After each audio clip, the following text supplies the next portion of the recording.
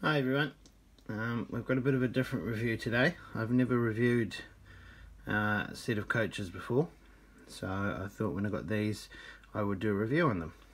Um, as you can see it's the new Brighton Belle Pullman cars. Um, these are the, the newest version which have um, just the standard NEM pocket couplings. Um, which is going to make it a lot easier now for me to incorporate these coaches into my Belmond British Pullman that is in the works. Um, rather than having to rewire the existing ones, all I have to do is swap the bodies to get the correct num uh, colour roofs and uh, yeah, replace the names. So, all going well, that should be uh, not very long in the making. So, we'll have a quick look at these. Um, so, as you can see there, it says the bottom it's got uh, third class car number 85, first class Mona and first class Gwen. The two first class ones are the kitchen cars um, and the third class car is the parlour car. Um, and then on top um, it shows the Brighton Belle driving units at the top and then at the bottom the full rake and how the train should be made up. Um, so the other side is basically the same as this side. So we will have a quick look at one now. And there we go. So as you can see, this one is First Class Kitchen Mona. Um, as always with all of Hornby's Pullmans, fantastically detailed. Um, table lamps that light up, obviously. Separately fitted handrails, um, roof vents, roof pipes. All the usual detail that you find on them is present on these, as usual. Uh, printed curtains, lovely interior um, as you can see inside there maybe just if we turn the flash on uh, interior there you can see inside the kitchen where they even have a rough representation of the sinks. Mm. moving along there's the table lamps and the tables and chairs. Here we can see the chairs. Along the roof we have plenty of rivet detail there is multitudes of it. Um, obviously these were steel construction so the roofs were riveted unlike the original ones where they were uh, canvas covered I believe. Um, and we've got the water filler pipes at the end there and the roof vents um, those three black dots um, the Brighton Belle name boards were on there. Um, I removed these um, planning to repaint the coach roof but then decided it was a lot easier just to get or try and get the older bodies that already had the roof painted because then they would match. Um, what I have noticed is the pickups are only on one of the bogies so um, each coach is individually lit um, but yes the, the pickups are only on one of the bogies um, and there we can see just the standard NEM coupling pocket um, moving around to the end, you can see inside the coach. Um, plenty of detail on the end there. Let's see if we can. 283 something. That mean uh, the schedule number? 43 tons. Um, this is legible under a microscope, guys. Um, magnifying glass, sorry. Um, there's the Pullman crest, and then we've got the name printed there. Beautifully printed. Um, the underframe is very sparse. Um, there wasn't much on these.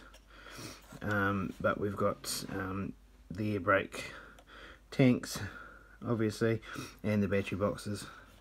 So we'll have a quick look at the other side. Um, and there we go. Good detail as on the other side a few more windows on this side. Or maybe they're just more spread out. They are, they're just more spread out. Um, so, yeah. But yes, so there we go. That is the new Brighton Belle coach pack. Um, as I said, these are going to my Belmond British Pullman or VSOE British Pullman rake.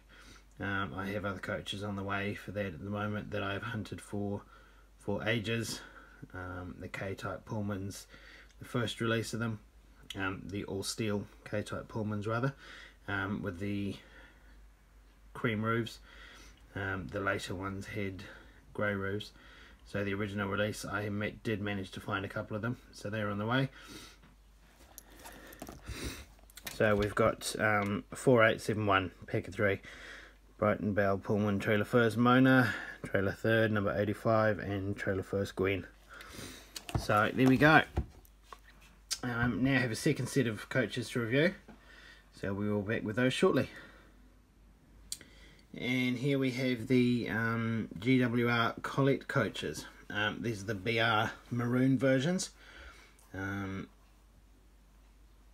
these are really the first time we've had a true Great Western coach done to super detail standard. Um, obviously we had the Hawksworths uh, about seven or eight years ago, but they were introduced right at the end of the GWR, and in fact the first ones didn't run until 1949. Um, so technically they never ran under GWR. Um, the first lot were painted in chocolate and cream originally, um, but very quickly lost it to the carmine and cream or blood and custard and then maroon after that. Um, so these are the first true GWR coaches that we've had super detailed. They are fantastic coaches. Obviously they exist in the railroad range as well um, and the Thomas range as Gordon and Henry's coaches. Um, but we'll take a look at these and um, see what they're like. Um, I won't get them all out obviously. I'll just get one of them out and have a look. The standard is the same across all of them. Um, so we will get one out now and have a quick look at it. And so here we have the left-hand corridor brake. Um, all these coaches were classed as either left or right-handed. Um, the corridor, in theory, was always on the same side of the train. Um, so we'll have a quick look at these um, and have a closer look. So um, these ones have, get a bit closer there, uh, it's quite a bit shorter this one than the Pullman cars. Um, yeah, quite a bit shorter. 240 something mil I think these ones are as opposed to almost 300 for the Pullmans. So as you can see these ones have got uh, plenty of separately fitted detail. The pipes along the roof separately fitted. Um, all the vents are separately fitted. We've got water water filler pipes at this end for the bathrooms. Um, the bathroom window is frosted, um, which is a nice touch. Um, and then obviously we've got security bars over the guards van area. Um, printing is minimal. Um, sorry, lettering is minimal rather. We have the coach number there and then guard there. Um, apart from that, there is not really a lot.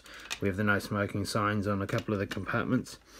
Um, but as you can see, the handrail here door grab handles they're all separately fitted um, as you can see the interior the seats have been picked out in red and also in the guards area there you can see um, his brake standard that he would wind to turn on the handbrake um, which is a nice touch to see some internal detailing like that. Um, he's got his wee seat in the corner there that you can see. So yes the seats are picked out in red um, as per the prototype. Um, there's the frosted window of the lavatory, as it would have been called back then, not toilet.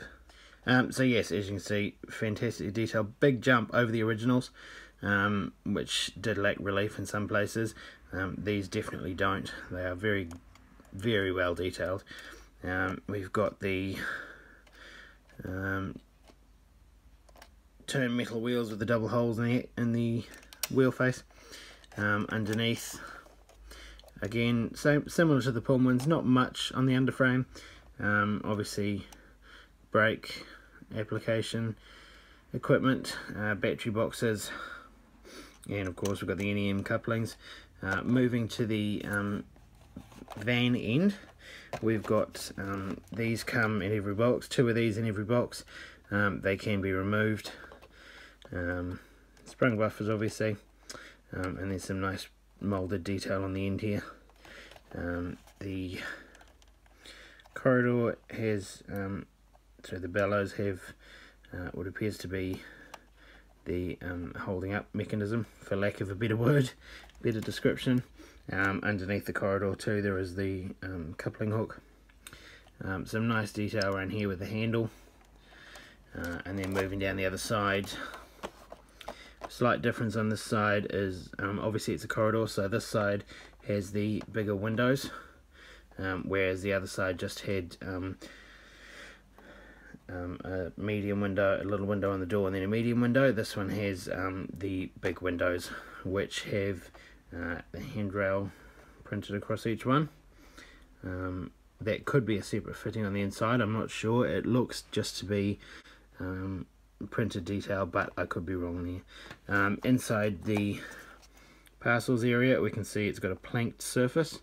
Um, some through that window. Uh, there we go. Uh, inside those bars, you can see straight through.